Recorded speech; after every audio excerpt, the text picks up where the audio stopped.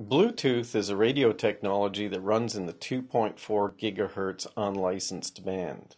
And there are standards for communications between 1 meter and 10 meters. And there are variations that run at 1 megabit per second, which was 700 kilobits per second in practice. And then 3 megabits per second, which was 2 megabits per second in practice. And there's a variation that uses Wi Fi modems to communicate at high speeds. And more interestingly, there's a variation that uses low power so that we might start seeing Bluetooth used to connect, for example, heart monitors to a data collection station. If you read the standards, they talk about piconets and personal area networks because, in theory, you can have eight devices communicating on the same Bluetooth channel. In practice, it's used for point to point communications. There are only two devices involved, and it's at a range of maximum 10 meters. Bluetooth is a spread spectrum technology like CDMA, but the spread spectrum part is done in a different way. With CDMA, we're transmitting codes that are 64 bits long. So the actual bit rate, also called the chipping rate, is 64 times higher than it normally would be. And so this has the effect of spreading the energy across a wider frequency band. We don't do that in Bluetooth. With Bluetooth, there are 79 carriers defined, and the devices hop in a particular pattern amongst the 79 carriers every 625 microseconds. And a particular hop sequence is called a channel in Bluetooth. And the channel is determined by the master. There are masters and slaves in a Bluetooth world and the master decides what the frequency hopping pattern is, and it decides this based on its Bluetooth address, which is like a MAC address. It's a hard coded number on the Bluetooth chip. Every 625 microseconds, we change to a different frequency, and that time period of 625 microseconds is called a slot.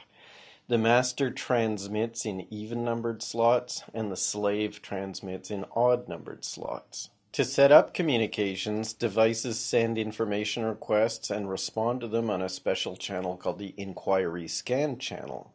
And remember, a channel is a particular hop sequence amongst the 79 carriers. To make a device discoverable means that it listens on the inquiry scan channel. To connect to a device, you fire up the user interface on your smartphone, for example, and this is going to show a list of the devices that have responded on the inquiry scan channel. And if the device you want isn't there, that means that you have to make it discoverable, which means that it will respond to a request on the inquiry scan channel. If you want to connect to a device, what you do is you click on that device's name in the list of discovered devices on your user interface. And what it's doing is then sending messages on that device's paging channel. A paging channel is a specific channel, but the hop sequence is derived from the target's Bluetooth address. And we use this communication to find out what the capabilities of the device are and agree on which ones we're going to use. And then when that's set up, the communications then go to the channel defined by the master. The master defines what the hop sequence is and tells the slave what it is via a channel access code at the beginning of every one of the packets. The master decides when a bit starts.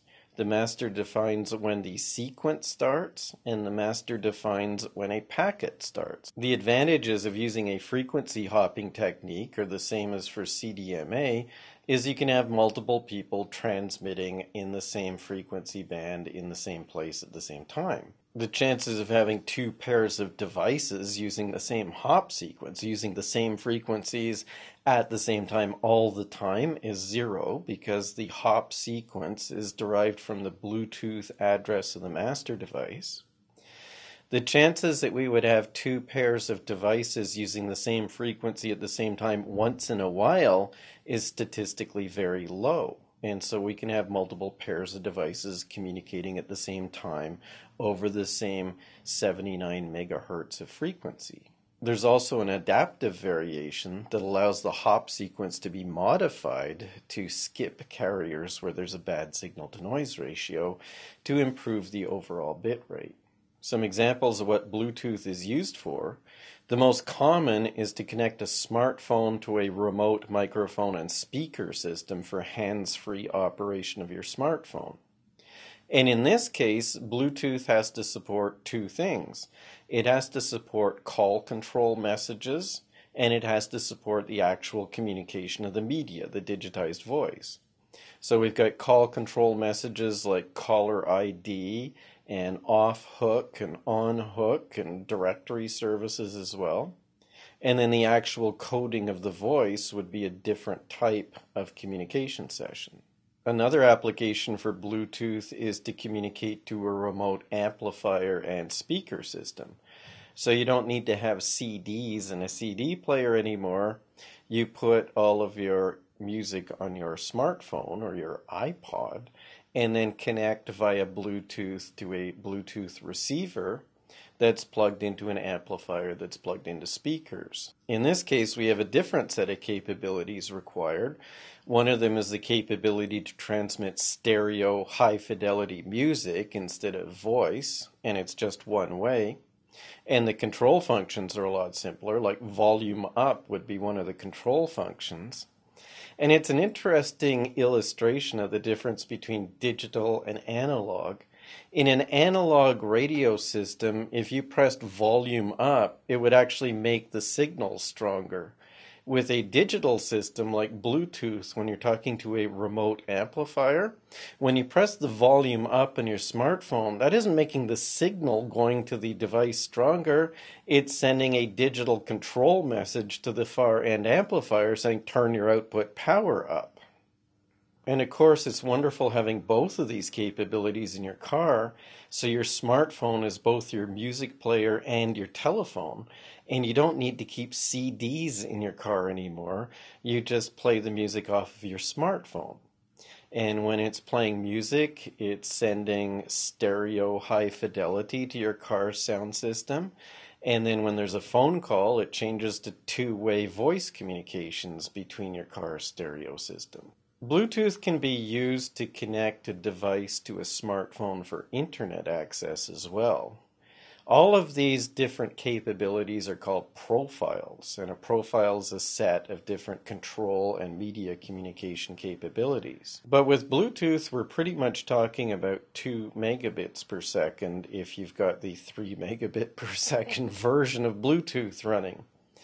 2 megabits per second used to sound like a lot, but now 2 megabits per second doesn't sound like very much. My cell phone as a tethered modem is 5 megabits per second, and yet Bluetooth can only do 2 megabits per second. So that means that if we're using Bluetooth to connect a laptop to your cell phone to get into the cell phone's internet access, that the Bluetooth link is going to be the weak link in the chain. It's going to be a bottleneck that slows things down because the Bluetooth link is only 2 megabits per second, and then the cellular internet link is 5 megabits per second. So, Bluetooth appears to be useful for local communication to peripheral devices, but not for data communications connections. It appears that Wi Fi, the 802.11 wireless LANs, are the devices that will get us up to the gigabit per second range.